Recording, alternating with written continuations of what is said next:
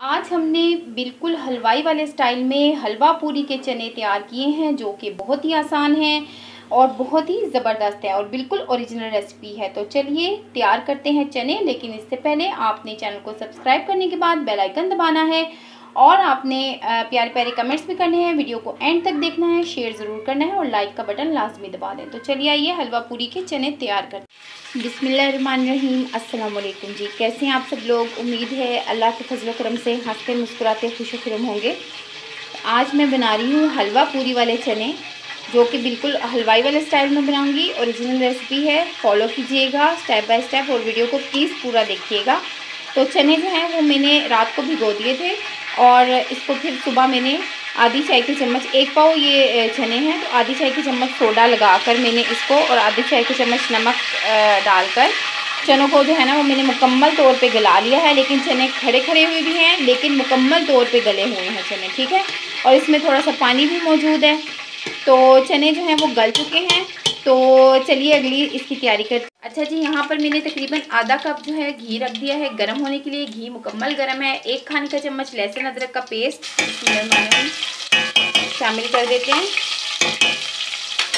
और इसको कुछ देर फ्राई करते हैं।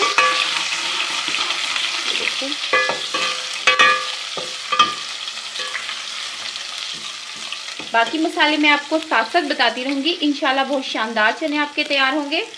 अच्छा जी, यहाँ पर मैंने आध पाव प्याज और छः सात हरी मिर्चों का पेस्ट बना लिया है। ये मैं इसमें शामिल करती हूँ। बिस्मिल्लाह। ठीक है? और इसको हम फ्राई कर लेंगे। चार से पाँच मिनट हम इसको फ्राई कर लेंगे। अच्छा जी, प्याज हमारी बहुत अच्छी सी ब्राउन हो रही है। तो देखिए, हमने इसको गोल्डन ब्राउन करना है। और यहाँ पर जो मसाले हमने इसमें अभी शामिल करने हैं ना, वो मैं आपको बता देती हूँ। ये है जी ज़ीरा, एक खाने, एक चाय का चम्मच है ज़ीरा। इसको मोटा मोटा दरदरा से मैंने पीस लिया है। ये है काला नमक।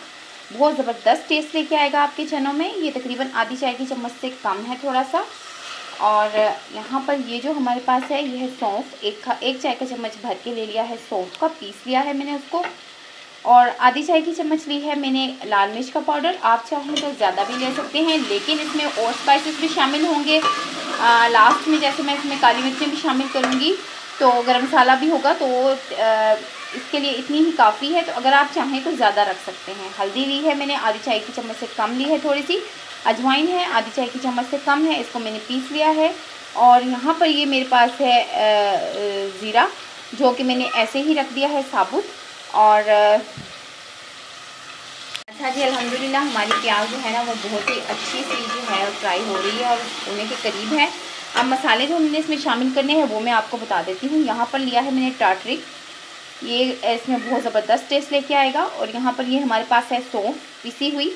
एक चाय का चम्मच है और काला नमक है, जो कि बहुत ही ज़बरदस्त टेस्ट लाना है इसने, इन चनों में। आधी चाय की चम्मच से थोड़ा सा कम।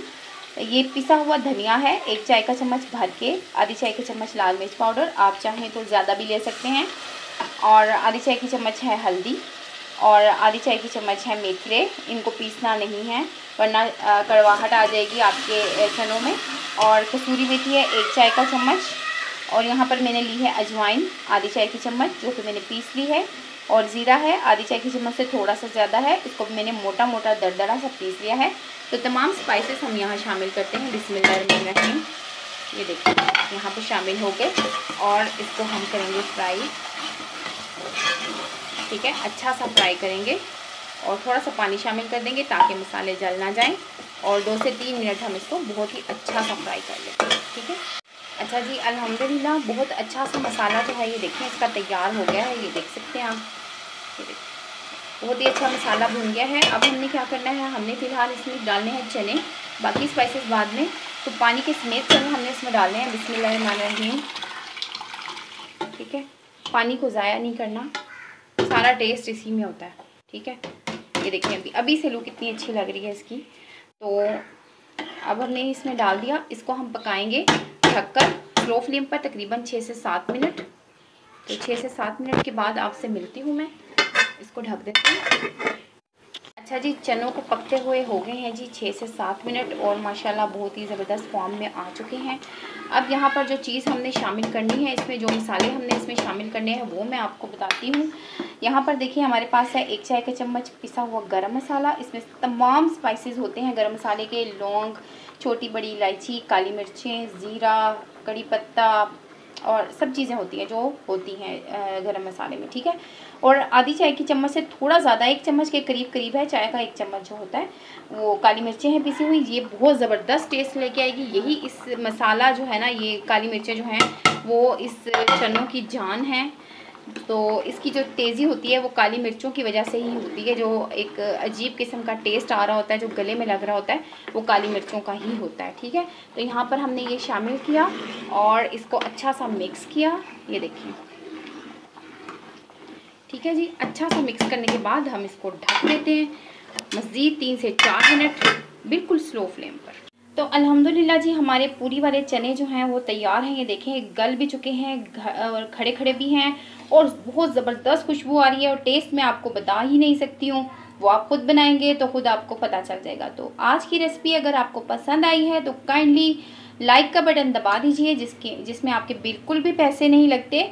और नए आने वाले प्लीज़ चैनल को सब्सक्राइब करने के बाद बेल आइकन दबाएँ ताकि हर वीडियो का नोटिफिकेशन मिले और वीडियो को शेयर भी कीजिए प्यार प्यारे कमेंट्स कीजिए।